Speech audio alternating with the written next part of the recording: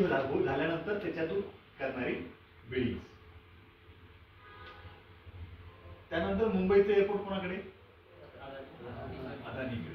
अदानीची काय चेक केली त्यांनी? मार्केट कॅप त्यानंतर त्यांच्याकडे एवढ्या प्रकारची लिक्विडिटी आहे का?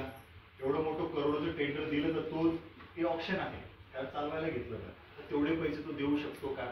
तर या सगळ्यांची खात्री केल्यानंतर अशा प्रकारची कामं दिल्या गेलं तर त्याला म्हणतात लिमिटेड टेंडर आणि दुसरा शब्द त्याला आपण यूज केला होता GT global tender inquiry global म्हणजे काय?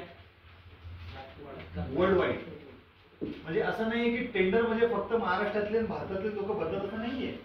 आपल्या देशामध्ये विदेशी कंपन्या सुद्धा टेंडर भरतात. आता विदेशी लोक कंपनी टेंडर भरणार ते काय भारतीय रुपयात पैसे टाकणार का? ग्लोबल करन्सी काय यूज करतो आपण?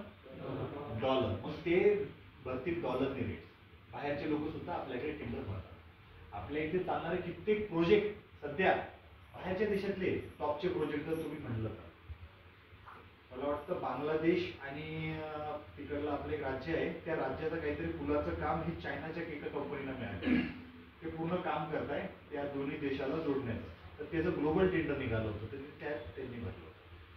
त्यानंतर आता कोविड झाला ना तर त्यात लस कोविडच्या लसीचं ग्लोबल टेंडर आलं होतं. हा. कारण काय होतं? तुम्हाला सांग काही काळापुरतं अगोदर आपल्याकडे लस बनलेली नव्हती. आपण बाहेरची लस मागवायचो. आपण कोणती मागवायचो? फायझर बरोबर आहे. कारण आपल्याकडे ती बनलेली नव्हती. तर त्यावेळेस आपण तिकडून ग्लोबल टेंडर काढलं. त्या ग्लोबल टेंडरमध्ये मग बाहेरच्या कंपन्या जास्त होत्या. दोन चार कंपन्या बनवत होती लस. पण ज्यावेळेस आपल्या भारतामध्ये ज्यावेळेस लस बनवायला आली तर त्यांनी ते ग्लोबल टेंडर कॅन्सल केलं. कारण काय? की भारतातलंच उत्पन्न कुठं आलं पाहिजे?